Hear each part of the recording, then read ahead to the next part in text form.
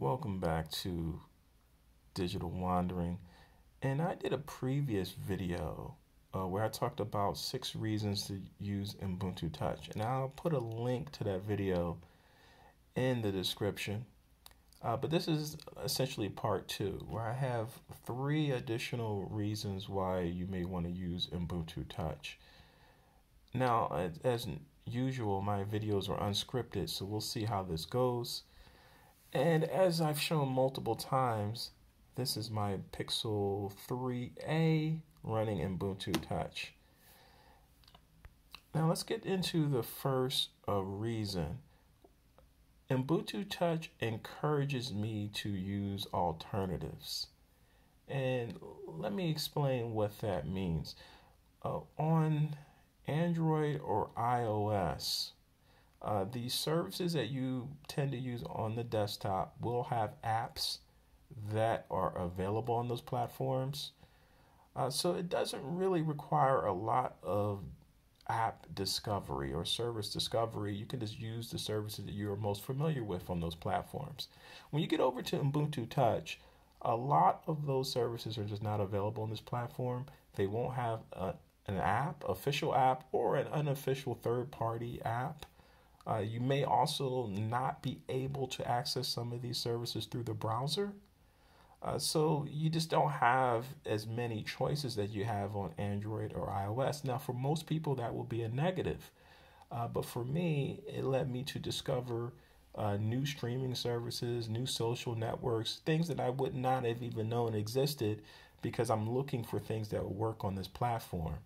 And, you know, one of the reasons why I named this channel Digital Wandering is I do enjoy this kind of digital searching, this kind of digital meandering, looking for different things, figuring out how things work.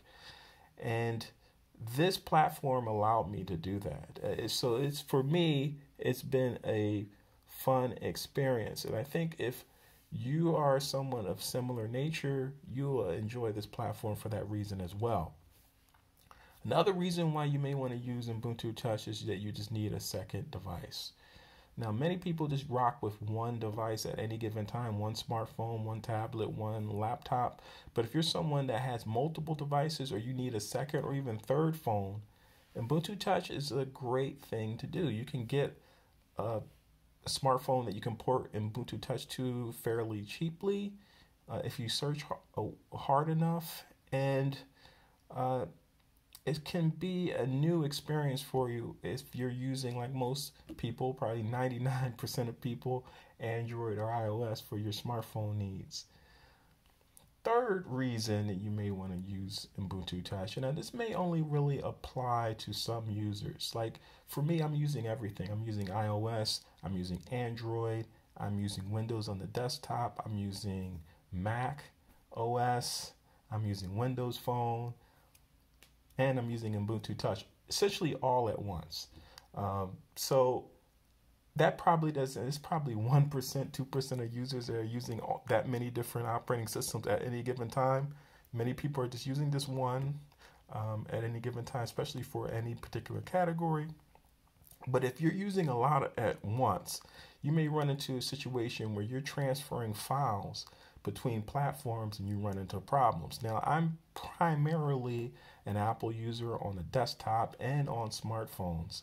Now, Apple is more lenient in what it allows, and when it comes to naming a file, it allows a greater file length and allows a lot more special characters. So, uh, when you transfer a file from an Apple device to a Windows desktop or Android phone or Windows phone, you also run into a, a, lot of errors and a lot of the transfers will be uh, terminated because of a, just a special character in the name that you use to name one of the files. This is a constant problem if you have a lot of different operating systems that you're running and you're trying to transfer files between them. I run into this all the time.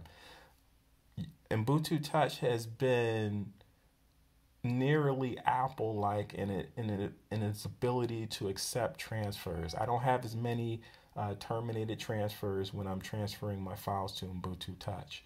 Uh, so I don't know how many people this applies to. Again, I think it only applies to a small group of people. Uh, people that like to keep a lot of files, a lot of individual like photos, videos, or or documents on their devices that may have these special characters in their names that causes a lot of problems when you're transferring files between platforms. Probably only a, a, small percentage of users run into this, but I'm one of those small percentage of users, and I really enjoy that in Ubuntu Touch. It is more Apple like an ability to accept a lot of transfers without constant transferring transfers uh, being terminated. I tend to use the Android file transfer tool uh, on my Mac when I'm transferring files to my Ubuntu Touch device. That's also the tool that I use to transfer to my Windows phone. It is stable until it runs into one of these file issues, and that will not only crash the transfer, but often you would have to uh, close the app and reopen it to uh, to try to reuse it again for any other purposes for transferring any additional files. Okay, so that is the three reasons uh, that I think are compelling. Three additional reasons, I should say, I think are compelling to use Ubuntu Touch. Uh, if you have any additional reasons, uh, please post them in the comments. Thank you for watching. This is Digital Wandering signing off.